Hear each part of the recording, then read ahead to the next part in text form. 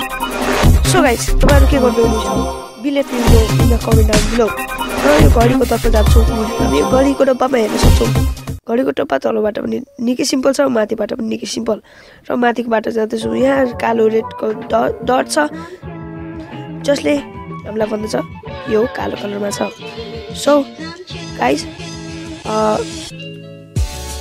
अब चाहिँ यसको प्याकेजिङको तर्फ आउँछौँ यसको प्याकेजिङ निकै सिम्पल छ एज ए क्यान टेल अनि यसरी यो अनबक्सिङ छ माथिबाट तल गरेर।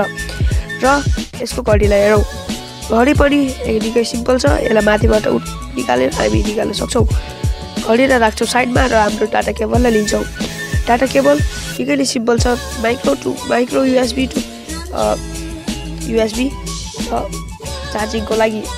जो हामीले चार्जिङमा सपोर्ट गर्छ। यो निकै नै सिम्पल र राम्रो हुन गएकोमा हामी यसलाई युज गर्छौँ for the charging and the data syncing so घडीलाई निकालौँ। Packaging is very good as I already tell you र प्याकेजिङ निकै नै राम्रो हुनाले घडीको स्ट्याप पनि निकै नै राम्रो छ। For the storage and the bands यो अहिले चार्ज छैन सो वी क्यान अनि म पछि तपाईँहरूलाई चार्ज गरेर यसको रिभ्यू दिइदिनेछु। चिन subscribe to my channel and get like this video and subscribe our channel thank you the video please